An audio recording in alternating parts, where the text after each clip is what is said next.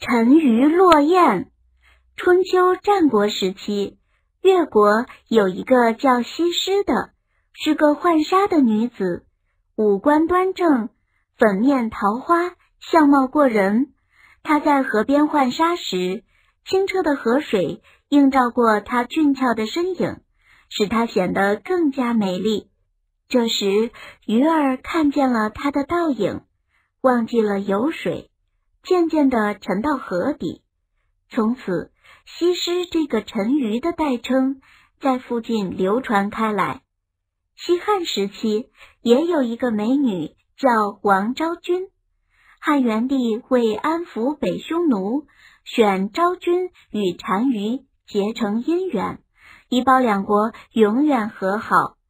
在一个秋高气爽的日子里，昭君告别了故土。登城北去，一路上马嘶雁鸣，撕裂了他的心肝，悲切之感使他心绪难平。他在坐骑之上拨动琴弦，奏起悲壮的离别之曲。南飞的大雁听到这悦耳的琴音，看到骑在马上这个美丽的女子，忘记摆动翅膀，跌落地下。从此。昭君就得来落雁的代称。后来大家在称赞一个女人长得很漂亮，就说她有沉鱼落雁的容貌。沉鱼落雁是指鱼见之沉入水底，雁见之降落沙洲，形容女子容貌美丽。如高家两个女儿，如今一个出落的有沉鱼落雁之容。一个长的是闭月羞花之貌。钱可通神。开元间，唐玄宗曾经召见张宝福，并赐给他严赏这个名字。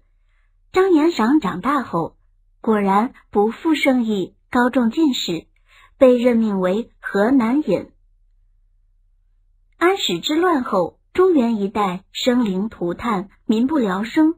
张延赏就是在这种背景下出任河南尹的。上任后，由于政绩卓著，唐德宗任命张延赏为宰相，继而又命他监掌朝廷的赋税收支。张延赏早就听说有一桩大案，冤情极深，一直颇为愤慨，就想借此机会严查此案，所以一到任。张延赏便将玉立召到跟前，说：“这个错案已经拖了很长时间了，现在限令你们十天内结案。”第二天，张延赏早早来到衙门，刚一落座，便发现公案上有一张纸条，上面写有两行小字：“孝敬张大人三万贯钱，请您不要再过问这个案子了。”张延赏身为宰相。从未见过有人如此嚣张的行贿，他气得把纸条撕了，并招来玉立，将十日期限改为五日。谁知第二天早上，张延赏的公案上又出现了一张小字条，仅有四字：钱五万贯。这一次比一次高的价码，无疑是一种挑战。张延赏大怒，他告诉玉立，两日内必须结案。张延赏以为自己的浩然正气一定可以镇住行贿者，可万万没料到，第二天嚣张的小纸条又出现了，上面写着钱十万贯。这次张延赏沉默了，他长叹一声说：“钱一旦到了十万贯这个份上，鬼神都能买通了，还有什么办不成的事呢？